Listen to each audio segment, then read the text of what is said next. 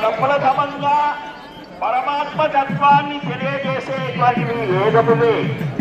ఋగ్వేదం యజుర్వేదం సామవేదం అధర్వణ వేదం పదకొండు వందల ఎనభై శాఖలతో ఉన్నది అని ఇవాళ పదకొండులోకి వచ్చింది.